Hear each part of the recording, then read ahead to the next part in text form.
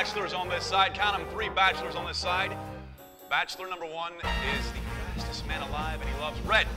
Bachelor number two is one of the scariest people I've ever met. You can put a 4x4 in his ass and stick him in a cornfield. He'll scare the hell out of you. Bachelor number two. I thought this was supposed to be a dating show. It is a dating show. None of this sounds appealing at all. This sounds appealing. A scary guy and the fastest man in the world? Okay, number three better be good. Bachelor number three is just your average guy who loves to spend time with his comic books. All right, those are the bachelors. Are you excited to be here? We're excited to have you here.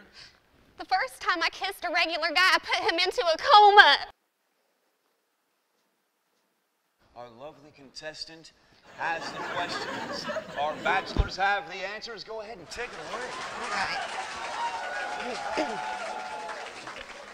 away.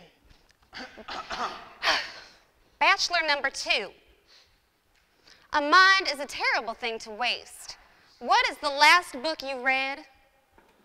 The last book I read was The Call of Cthulhu by H.P. Lovecraft, a delectable little novelette that talks about the inner workings of the human mind. Delicious. That sounds delicious. Hey, Bachelor number three.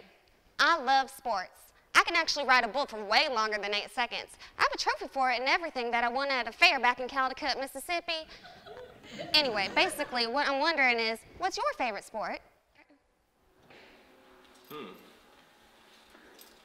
My favorite sport is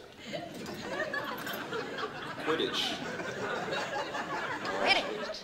Yeah, my favorite sport is Quidditch. Is that a real game? Yeah, you've never played Quidditch. I've got a team that you can join. We're looking for extra seekers, so. Uh, Seeker.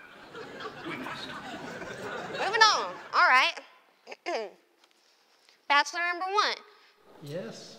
What is your favorite vegetable? Well, that's a, that's a ridiculous question. Everybody knows the answer to that. Bacon. Moving on. All right. Bachelor number one. What is the most romantic thing you've ever done for someone, and who was it? The most uh, romantic thing that I've ever. Romantic. You know, like magical flowers.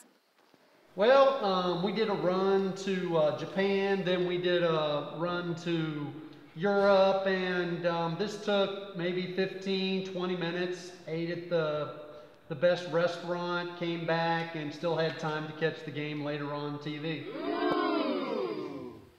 That sounds nice, but do you ever have time to just stop and smell the flowers? So, so stop. What it exactly is stop? You know, like take your time, foreplay, things like that. Whoa, foreplay. Okay, moving on. All right. Bachelor number three. Where would you take me on our first date? Hmm. Well, for our first date, I would take you.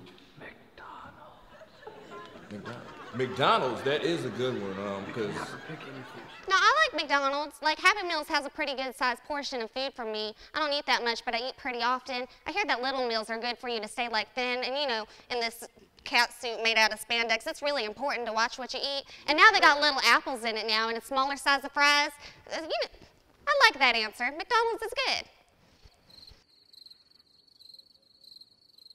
We're going to go ahead and cut to our commercial break. We'll be right back with some more great questions from our contestant and some amazing answers from our bachelors.